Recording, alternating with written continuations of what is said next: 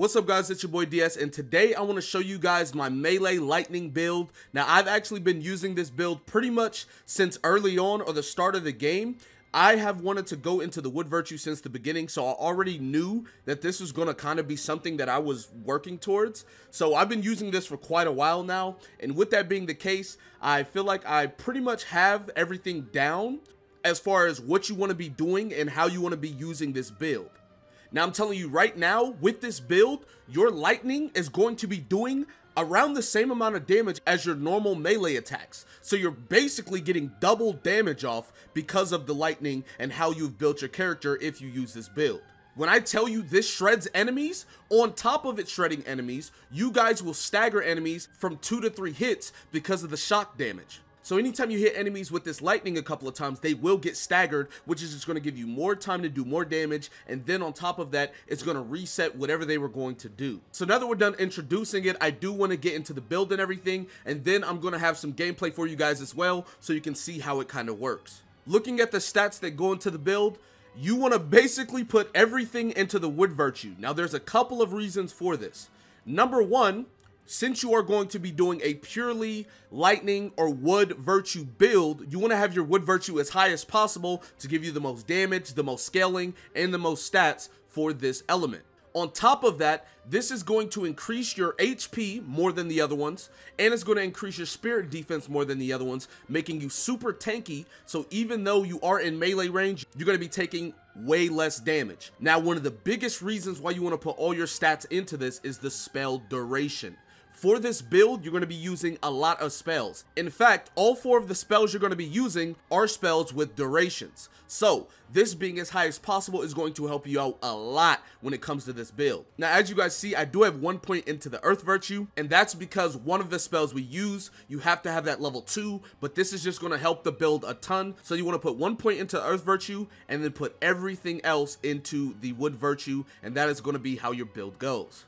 Now looking at the weapon, we are going to be using the Jade Green Staff, and the reason why is because number one, this set as a whole is just really good, but number two, the scaling for this weapon is really great when it comes to Wood Virtue. This is one of the highest scaling weapons for that virtue. So this is going to be something that you want to run. Now you guys don't have to run this. If you guys have a sword or some other weapon that scales really well with wood, that's okay too.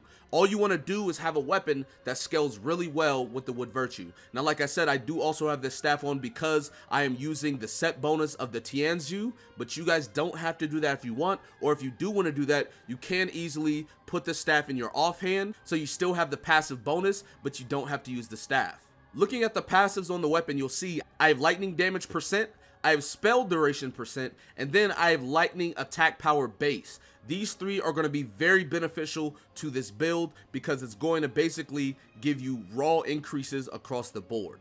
Looking at the hat, it's the Tianzu hat, as you guys see right there. And the passives on this are also going to be lightning damage percent, wood, phase spell, spirit consumption.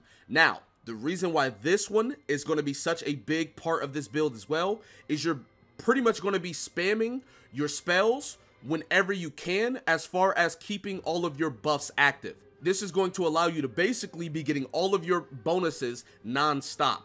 And then you see we have HP and then lightning attack power. If you look at the chest piece, it's going to be the exact same passives, lightning damage percent, wood phase spell, spirit consumption decrease, HP, and then lightning attack power. The same thing is going to be on the bracers, and it's also going to be on the pants. Looking at the two accessories I have on right now, now keep in mind you can't change the passives on accessories, so you kind of got to work with what you got. As you guys see right here, this is a 4-star one, and I have lightning attack power, which is nice. The metal phase spell spirit consumption, I don't, I'm not going to use, but I mean, it's still cool, whatever. And then you have HP on here, which is nice as well. Now, as far as the range spirit damage, the only thing that'll proc this is whenever you use the fireballs from the staff, but we're not going to use that too much in this build, but it's whatever. Moving on to the second accessory, you'll see we have HP up, which is nice. Then the water phase is not going to matter. The stone resistance is kind of whatever, but the martial arts damage is really good because we do want to use our martial arts. And then positive effect duration. This is a very big one as well because all the buffs we are putting on ourselves are technically positive effects. So this is going to be really nice for the build. Now, like I said, we are running the Tianzu passive set, which is going to number one, give us increased HP, which is just nice. The Wizardry spell spirit consumption. So basically, anytime we use spells, it's going to cost less spirit to use them. And like I said, we are going to be using our spells quite a lot, so that's going to be really good. The third one, power gain upon wizardry spell hitting an enemy. Basically, if you hit an enemy with a spell, it's going to give you a boost in damage. Now, I'm pretty sure this doesn't proc with your lightning, but still nice to have, sure. Now, the fourth one, staff spirit damage. This is going to be so good because we are using a staff for the main weapon of the build. Now, if you guys are not using this full set or you're not using the staff, maybe these passives aren't that beneficial to you. But as far as the build that I have going on right now, a lot of these passives are really, really good. Now, I want to talk about the spells. The first spell I want to talk about, and this is pretty much going to be your bread and butter, is Lightning Weapon. For a certain period of time, enchant your current melee weapon with Lightning. This is going to be one of the easier ways for you guys to get lightning on your weapon and be dishing out tons of damage. Now, I know that it costs 7 morale, but basically, for the first half of stages, you're not going to be able to use it, which is perfectly fine. The first half of stages are super easy. But the second half of stages, you will be able to use it, and that's whenever you're going to be fighting the harder enemies and the bosses. That's whenever this is going to kick in, and this is going to start dealing tons of damage to all those enemies. The next spell I want to talk about is Inner Breath. This is going to be a very big game changer for your build because it increases the accumulation of divine beast gauge for a certain period of time. If you guys looked at all the passives, you'll notice we don't have any passives that give increased divine beast gauge. Well, that's because we have this spell. So we can pop this spell and then we'll be able to, whenever we hit enemies or attack enemies, we will get increased divine beast gauge. This is going to allow us to get our divine beast so much easier and so much more often. And I'll get into why that's so good in a little bit. Moving on to the third spell, Absorb Vitality. This is going to be so good for you as well because you literally pop it and then you know if you take a little bit of damage you can heal the damage back. But it works so well with this build because of a multitude of reasons. Number one like i said we're building all wood virtue so our characters are going to be tanky. So whenever we take damage we're going to be taking only a little bit of damage and with this you could heal it back up. And number two, whenever you pop this, our spell duration is going to last much longer, and it's going to just allow us to heal nonstop in all the battles we're fighting. Not to mention, whenever you do a fatal strike on an enemy or a boss, this heals back ridiculous amounts of HP. So anytime you stagger an enemy or a boss, pop this real quick and then do your fatal strike and you're to heal back a ton. The last spell I want to talk about is Enhanced Defense. This is why you have one point into the Earth Virtue, and this is going to be very good because our character is already super tanky, and this is going to allow us to be even tankier. Not to mention, the main reason we're using this is that once you use it, you cannot be staggered. And with your lightning on your weapon, you're going to basically be destroying enemies before they can do any real damage to you because number one, you're going to be healing, Number two, you're going to be tanky and can't be staggered. And number three, you're going to be dishing out tons of damage with your lightning. Now that we're done talking about the spells, I do want to talk about the Divine Beast. The current one we're going to be using is the Qilong. I'm not entirely sure if that's how you say it, but it's on the screen. And this Divine Beast is going to give us a couple of different things that are going to be so good for this build. Number one, looking at the passives, the wood phase spell spirit consumption is going to be decreased. So all the spells that we're using in the wood virtue is going to cost less spirit.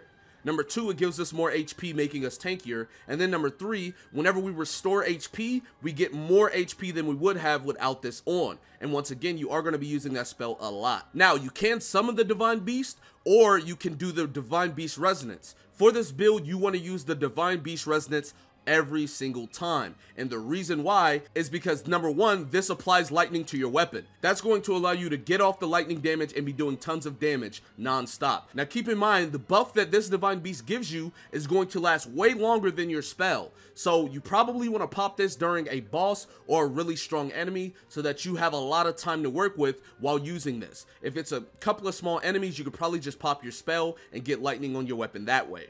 Another thing that this is going to be doing for you, it increases the spirit gain from all attacks and decreases HP damage taken. So, not only are we getting lightning on our weapon for a long duration, we are now also going to be getting increased spirit, allowing us to use all of our spells, our martial arts, and everything like that a lot more and we're also going to be taking less damage, which makes the entire build so much more value keep in mind you do have a spell that allows you to get this faster, so it all comes together. Now that we're done talking about the build and everything like that, I do want to get into some gameplay so that you guys can see exactly how the build works and how good it is.